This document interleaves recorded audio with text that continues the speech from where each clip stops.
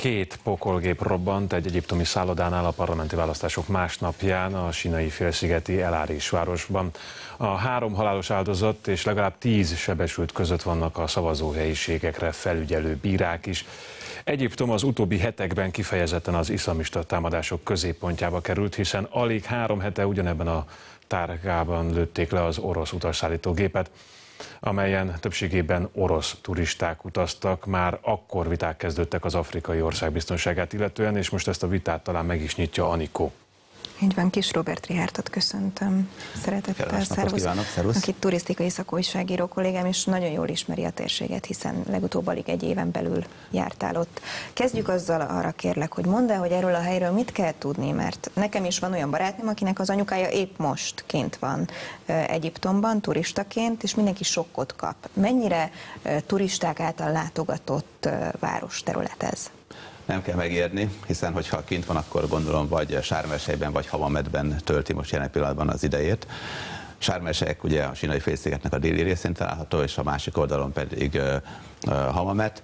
Itt, amiről beszélünk, az Aris nevű település, ez a Sinai félsziget északi részén található, körülbelül 160-170 ezer lakosa van, és Kairótól lényegében észak-keletre fekszik, körülbelül 350 kilométerre, vagy ha már a a fő településhez viszonyítunk, és nem kifejezett turista központ. Vannak azért turisták is, nagyon kevesen, mégpedig azért, mert van egy érdekes nemzeti park a közelében, és egy gyönyörű sivatagnak a, a szélén fekszik. Hát ugye a Sinai félsziget nagy része sivatag, de ezen belül is vannak ilyen kis alsivatag részek, és akkor az Aris sivatagnak lényegében a gyöngyszeme ez a település, és központ hegyben, tehát ilyen regionális központ is, de turisták csak ritkán keresik fel, és eleve a Sinai félszigetnek a középső és az északi területe a Magyar Külügyminisztérium esetében is a látogatásra nem ajánlott térségben vannak, tehát ez azt jelenti, hogy utazási irodák ide nem is szerveznek semmiféle utazást.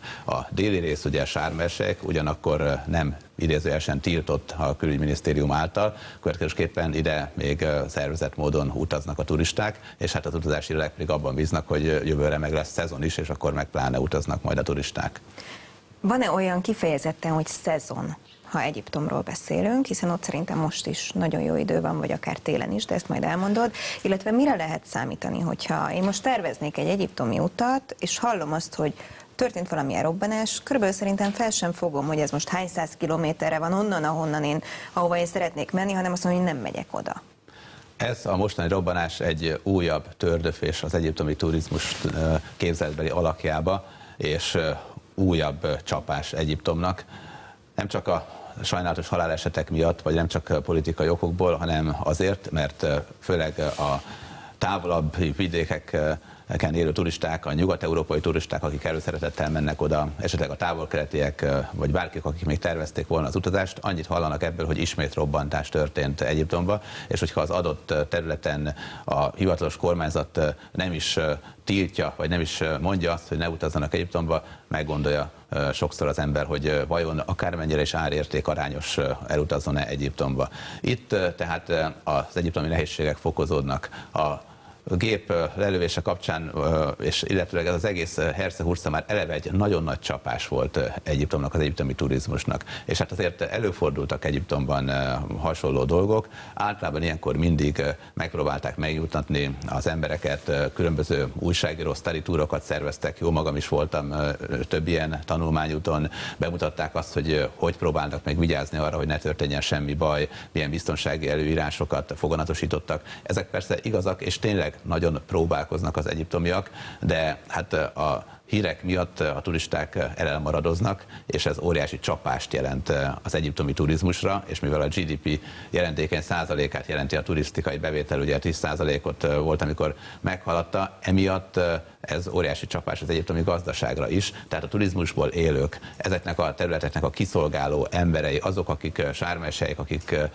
környékén, és bocsánat, Hamametet mondtam, de Hurkadát kellett volna, ugye Hurkada környékén élnek, mert ugye Hamamet Tunéziában, Hurkada környékén élnek, azok még jobban el fognak szegényedni, nem lesz nekik bevételi forrásuk, tehát ilyen értelemben a távlati hatása az, az nagyon-nagyon kemény ebből a szempontból, és mindenképpen az egyiptomi kormányzatnak lépnie kell, ha még egyáltalán tud mit. Most az, hogy a következő évi nyári szezon hogyan alakul majd, egyáltalán lesz-e komolyabb nyári szezon, attól is függ, hogy mennyire lesz 3-4-5-6 nyugodt hónap, meg, tudjuk-e, meg tudják-e hatóságok állítani ezt a merénylet sorozatot, és meg tudják-e oldani azt, hogy a január, a február, a március az nyugalomban teljen.